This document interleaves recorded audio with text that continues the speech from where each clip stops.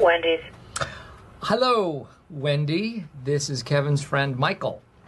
This isn't Wendy. Oh, I'm sorry. Could you put her on, please?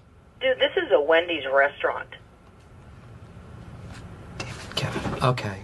Um, could I just have a frosty and a baked potato, please? You have to come to the restaurant to order food.